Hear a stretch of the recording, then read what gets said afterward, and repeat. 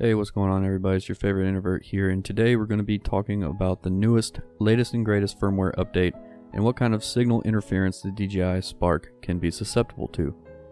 If you notice, I have the Spark set up here on the dresser facing me. Also, I have an Eero True Mesh Wi Fi system that offers tri band Wi Fi signals that cover the same spectrum as the Spark.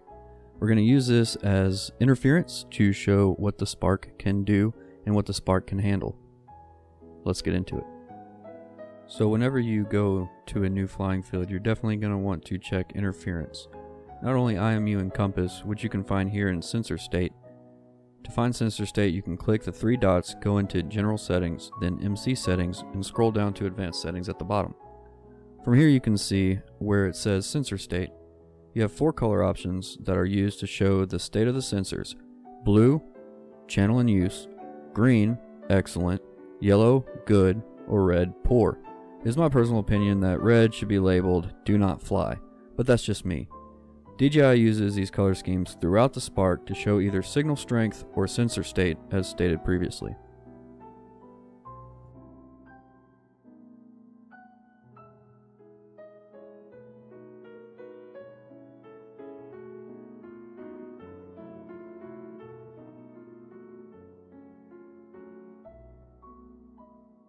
We're going to go down to Wi-Fi channels. Pay attention to this. This is important.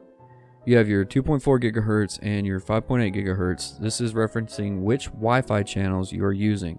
The Wi-Fi channels which connect your remote control to your drone or your phone to your drone.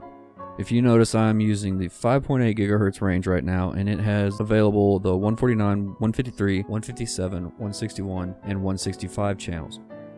Notice 161 and 165 are fluctuating between green and red. This is going to make me not use these channels. It's going to make me stay away from these channels. Right now I'm on the 149 band. If you are ever going to change these channels, you want to do it on the ground and never in flight. The Spark disconnects Wi-Fi while changing channels and to avoid the risk of any flyaway, you want to be grounded. I have my propellers off on the Spark right now just in case anything were to happen as well. So I'm going to choose channel index 153 and hit apply.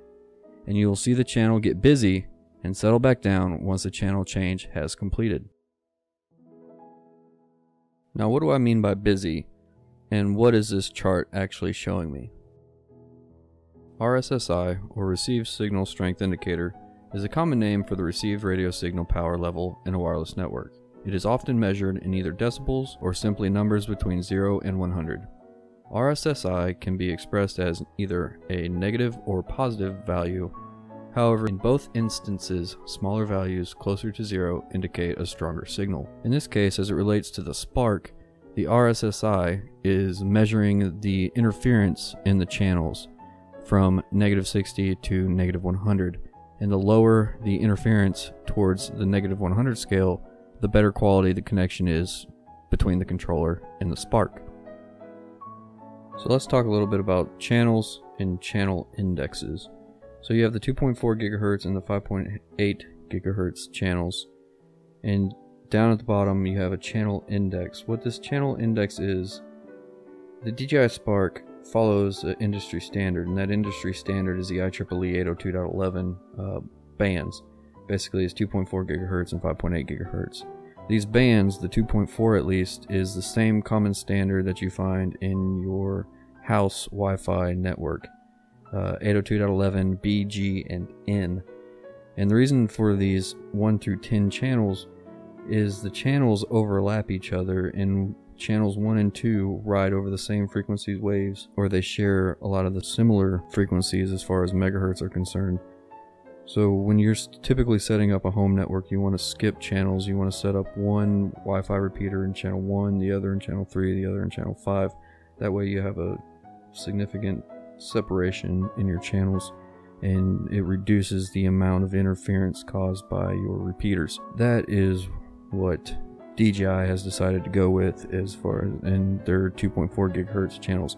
So it is not wise to go from channel 1 to channel 2 if you're going to go there, go to from 1 to 3 to 5 and so on and so forth if you're worried about frequency degradation or frequency saturation. So in these channel indexes, you'll see they have 1 through 10, and you can monitor the amount of interference each channel has um, as it relates in your phone, whichever phone that you use. You can monitor the interference, and you would like to choose the channel that has the least amount of interference, which will show up as green or stable quality. Red is unstable and blue is your current channel. So that is what it relates to on the 802.11 Bravo Golf and November bands in 2.4 gigahertz bands.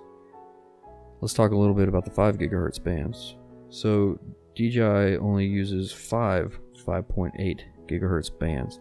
149, 153, 157, 161, and 165. It's the same issue with 802.11 BG and N as it is 802.11 A and N. A and N is a less frequently used channel spectrum as 2.4 gigahertz is because most Wi-Fi networks are in the 2.4 gigahertz range. Now these these new Wi-Fi range extenders, uh, wireless mesh networks, they all have the spread spectrum, channel hopping, uh, multi-band use, and they will also use 5 gigahertz channels as well. So you need to watch out for that interference as well.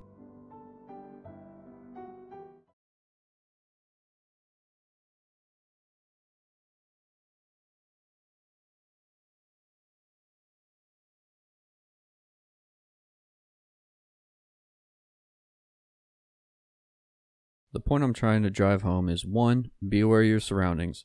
2. Monitor your Wi Fi channels.